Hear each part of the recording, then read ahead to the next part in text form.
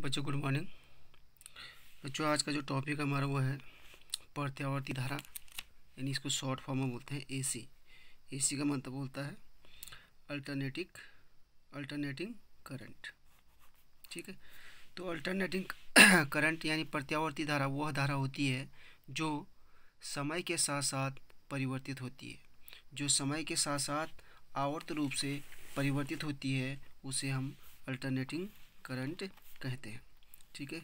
तो ये, इस प्रकार से समय के अनुसार से ये इसका ज्यावक्रिय ग्राफ होता है। समय के साथ साथ पहले ज़ीरो, फिर धीरे धीरे बढ़ती है मैक्सिमम, अधिकतम, फिर धीरे धीरे शून्य, फिर अधिकतम। तो इस टाइप से क्या होती है? समय के साथ साथ क्या होती है? परिवर्तित होती है। तो इस धारा को बोलते हैं प्रत्यावर्ती धारा, ठीक है? जो हम घरों में भी देखते हैं कि प्रत्यावर्ती धारा का एक ही स्रोत होता है, जो बिजली घर से प्राप्त होती है, ठीक है? बिजली घर से जो प्राप्त होती है, फिर जो हमारे घरों में आ रही है, वो कहलाती है प्रत्यावर्ती धारा, कहलाती है। और प्रत्यावर्ती धारा की जो आवृत्ति होती है, प्रत्यावर्ती धारा जो होती है, उसकी आवृत्ति जो होती है, फिफ्टी हर्ज या सिक्सटी हर्ज ठीक है? ये हम भारत में जो होती है, प्रत्यावर्ती धारा की जो आवृत्ति है, वो फिफ्टी हर्ज है। जैसे अमेरिका जैसे बड़े बड़े देश हैं, विकसित देश हैं, उनमें सिक्सटी हर्ज आवृत्ति होती है। लेकिन भारत में क्या है, या फिर जो हमारे घरों में जो बिजली आ रही है, उसकी जो आवृत्ति होती है, वो होती है फिफ्टी हर्ज ठीक है? और प्रत्यावर्ती धारा का जो साइन होता है, साइन जो होता है, वो इस प्रकार से होता है, इस प्रकार से। ठीक? ये इसका साइन होता है। ये साइन बताता है कि ये हमेशा क्या होती है, आपकी समस्या के साथ परिवर्तित होती है। और प्रत्यावर्ती धारा जो होती है आपकी डीसी से क्या होती है, आपकी खतरनाक होती है, यानी डायरेक्ट करंट से। ठीक है?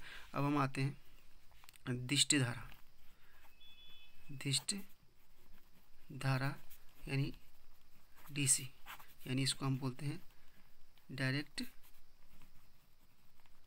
करंट ठीक। तो डायरेक्ट करंट का जो ग्राफ होता है वो आपका, ये टाइम तो ये सीधा होता है, क्योंकि ये समय के साथ साथ परिवर्तित नहीं होती है कांस्टेंट करंट होती है, ठीक है। तो ये कांस्टेंट करंट इसका क्या होता है, समय के साथ परिवर्तन नहीं होता है, और जो आवृत्ति इसकी होती है, वो शून्य होती है। ठीक? इसकी जो आवृत्ति होती है डीसी करंट क्या होती है आपकी शून्य होती है। ठीक?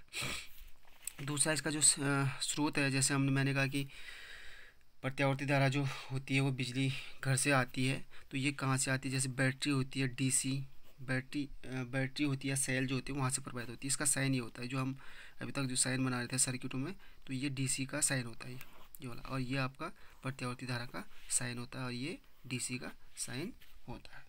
ठीक है?